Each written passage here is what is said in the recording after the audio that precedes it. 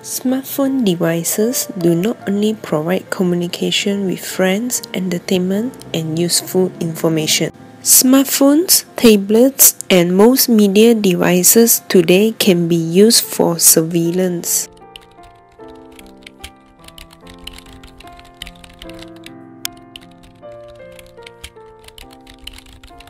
Yeah, because that's the basic feature of the smartphone.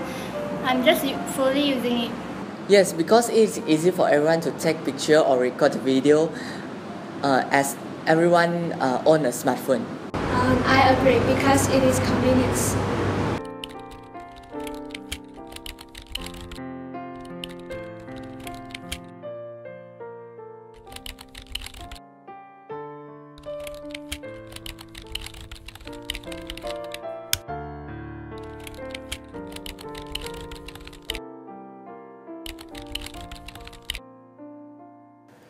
With advanced camera and video recording features, they can be used to invade a person's privacy.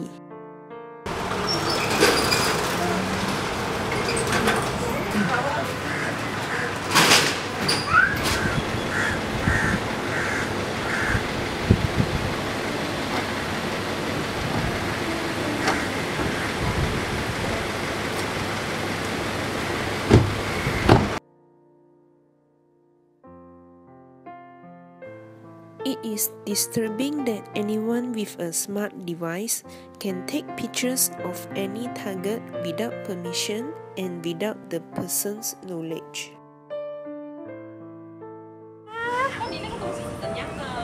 What is more worrying is that unauthorized image and videos may be transmitted freely on the internet for the whole world to see.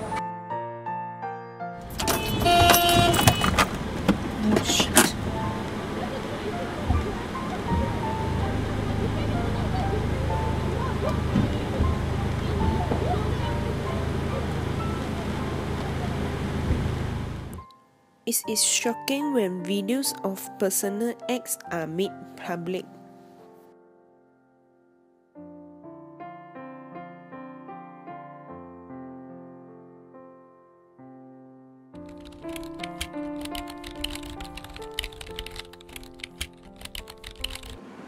Yeah, there's still some privacy because not every situation will attract people to record video.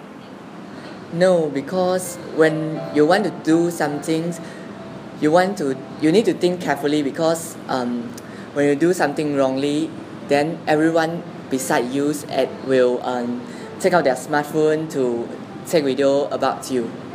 Uh, I think I still have privacy as I am aware of my image in the public.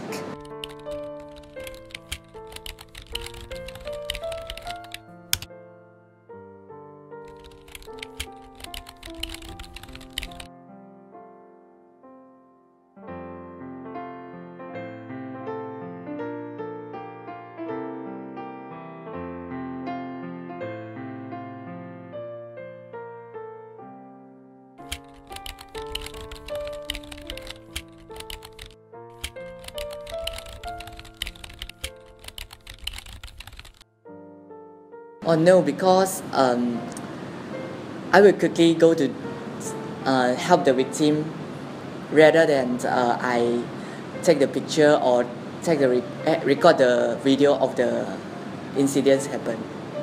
Yeah, because it's a trend.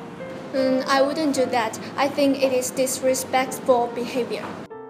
Sometimes, video clips of people committing wrong acts like beating up or bullying others are used to identify the wrongdoers. They are useful like CCTV recordings to help catch the culprits. Sometimes, video recordings are taken of famous people who are privately enjoying normal activity with friends or family, like shopping or swimming or having a meal in a restaurant. Private activities and outings with friends or family may not be private anymore.